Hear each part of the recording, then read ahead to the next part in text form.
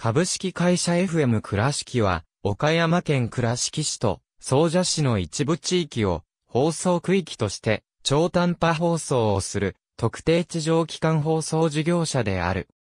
FM 倉敷の愛称でコミュニティ放送をしている。1996年12月24日に岡山県内初の民間 FM 放送局として開局した。基本的に自主制作番組と J-Wave、ミュージックバード、及び外部制作の番組で編成されている。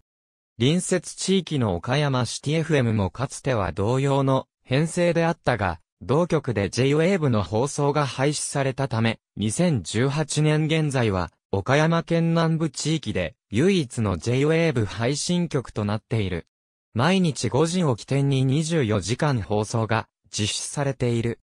第3セクター形式による運営が行われており、株主は、倉敷市、倉敷商工会議所、中国銀行、水島信用銀行、玉島信用銀行、山陽新聞社や、地元の中小企業などにより構成されている。本局送信所は、倉敷市中部にそびえる市松山に、中継局は、倉敷市南東部の小島地域と北西部の真備地区、総社市の秋葉山に設置されている。倉敷市内のケーブルテレビ局である、倉敷ケーブルテレビ、玉島テレビと共に、倉敷コミュニティメディアを結成している。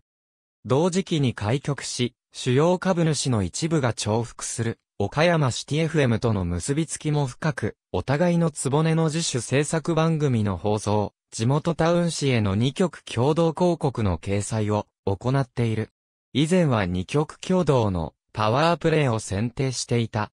広島県の FM 福山、岡山県の岡山シティ FM、香川県の FM3、FM 高松コミュニティ放送、FM 瀬戸、高松シティ FM と共に、瀬戸内コミュニティ FM ネットワークを立ち上げた。2005年11月には、災害等が発生した時に、自動的に電源が入り、大音量で災害情報等を伝える、緊急告知 FM ラジオを、倉敷ケーブルテレビと共同で開発した。コミュニティ FM であるが、ゆえの電波の届く範囲が狭いデメリットを逆に利用して、限られた人向けの緊急放送が可能である点、既存設備を流用することで低予算での運用が可能である点等が利点として挙げられる。このラジオは2007年に総務省消防庁などが主催する第11回防災まちづくり大賞の防災情報部門で消防庁長官賞を受賞した。